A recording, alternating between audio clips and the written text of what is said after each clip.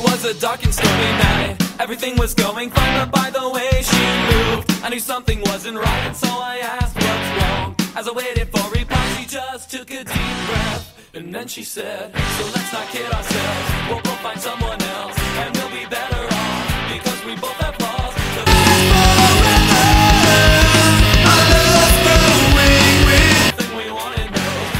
Inside you know the truth they